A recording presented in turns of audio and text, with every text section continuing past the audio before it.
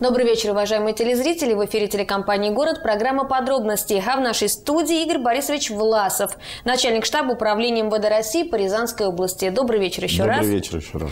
Говорим мы с вами о госуслугах. Хочется понять, чем э, ваши госуслуги отличаются от тех, к которым привыкли? Да, в общем-то, если брать вообще сферу государственных услуг, то по большому счету они не отличаются ничем. Регулируются одним и тем же законодательством, одними и теми же указами президента определены задачи для государственных органов о том, чтобы сокращать время ожидания предоставления госуслуг, повышать их качество и делать ну, максимально возможно для того, чтобы гражданам, которые обращаются за этими услугами, было их получать комфортно, в комфортных условиях, ну и с минимальными затратами времени. Так как это происходит все-таки?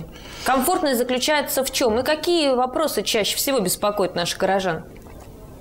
Ну, компетенции органов внутренних дел отнесено четыре направления, по которым мы предоставляем государственные услуги. Вообще в перечне их там 36, но четыре основных направления, сгруппированы они. Первое направление, и очень востребованное, это государственные услуги, связанные с предоставлением информации из персональных учетов граждан. То есть это справки о наличии отсутствия судимости, это архивные справки из наших архивов, а, вопросы, связанные с реабилитацией жертв политических репрессий и постановка виза. Это услугу оказывает информационный центр УВД, но при этом, скажем так, перечень адресов, где можно обратиться. То есть это не только площадь Мичурина, там наш официальный адрес Веденского 106, но еще целый ряд адресов.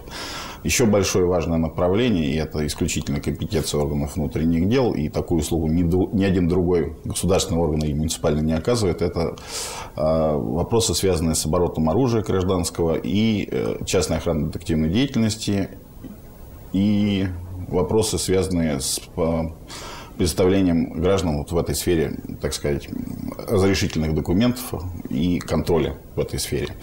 Ну, третье направление тоже очень востребовано. Автомобилистов у нас много. Скажем так, если брать автопарк, каждый третий гражданин имеет автомобиль. Ну, иногда бывает плотности выше.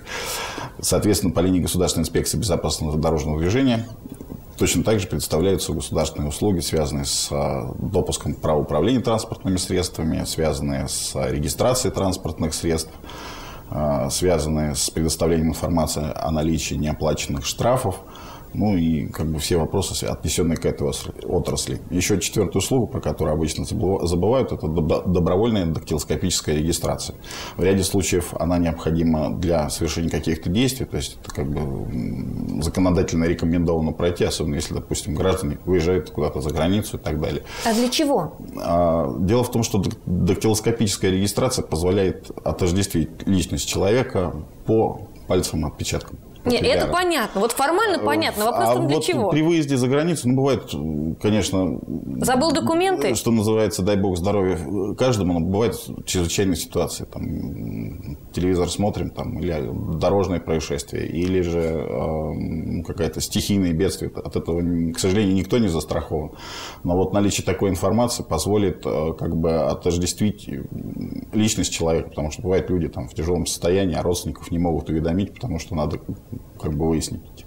Когда вы идете где-то на пляж, не всегда берете с собой паспорт. А какое количество людей вот этим заинтересовалось? Все-таки вещь такая двоякая. Кто-то хочет, наоборот, быть оставаться незамеченным. И в какой-то мере, наверное, в этом есть доля смысла-то. Ну, с одной стороны, да. Есть определенные категории лиц, которые, конечно, очень бы не хотели быть замечены, и чтобы их, так сказать, отпечатки пальцев хранились у нас в наших архивах. С другой стороны, у нас очень большой перечень, он постоянно расширяется, граждан, которые обязаны проходить дактилоскопическую регистрацию. Это, допустим, военнослужащие по призыву, это вообще военнослужащие по контракту, это ряд э, должностей государственной службы, правоохранительные органы. То есть перечень с каждым разом растет, и это связано прежде всего с тем, что э, мы постепенно переходим на новый формат документов.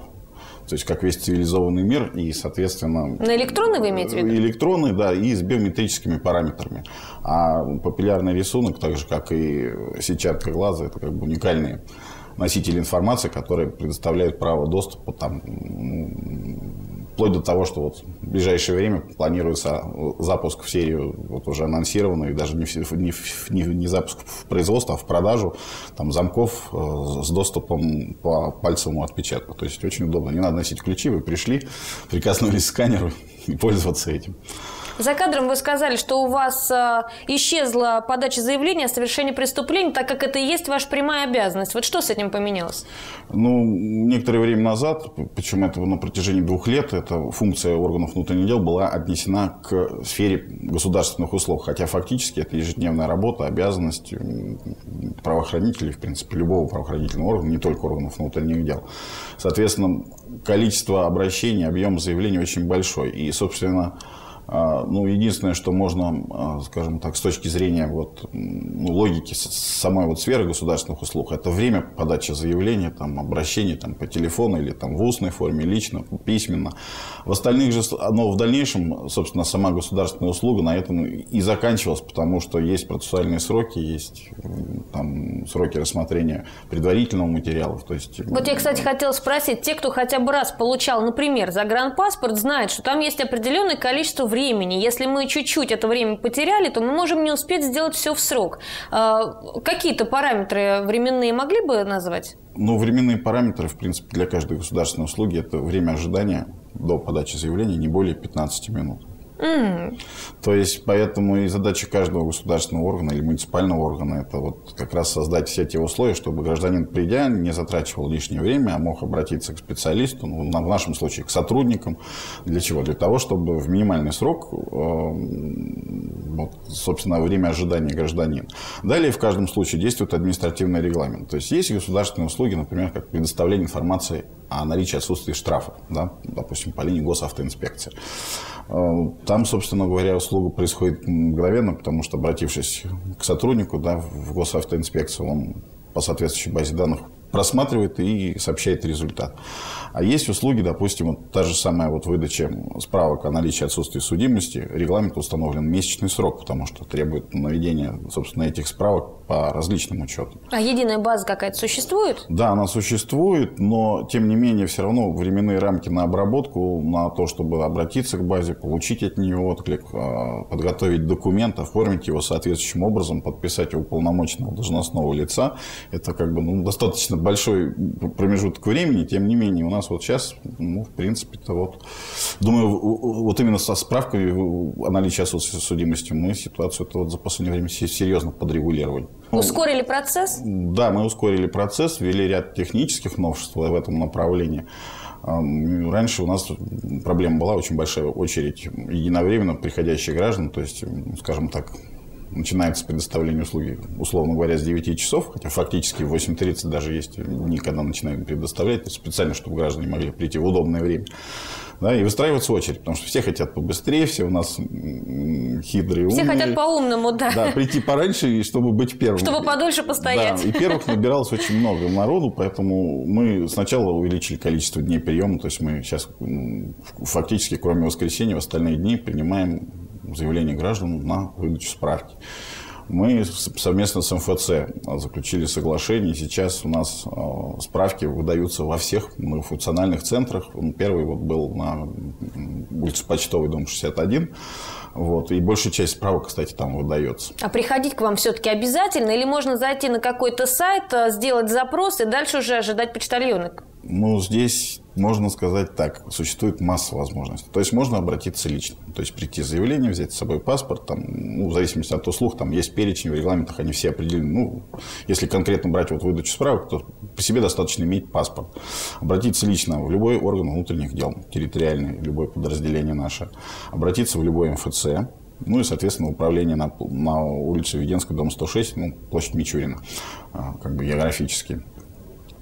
И, соответственно, этого будет достаточно. Можно обратиться письменно по почте, то есть направить почтовое уведомление.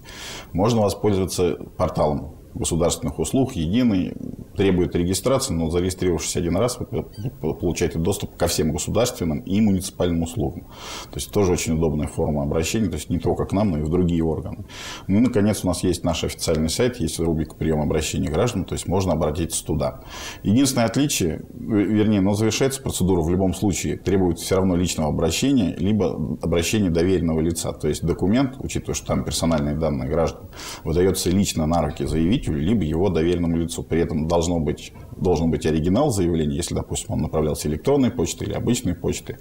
И э, нотариально заверенная доверенность о том, что вот именно конкретно там, Иванову Ивану Ивановичу гражданин Петров доверяет получить справку о наличии отсутствия судимости. Это вот такое маленькое ограничение. То есть мы не высылаем почтой ответ, потому что мы должны быть уверены, что это именно тот гражданин, который запрашивает информацию о себе лично.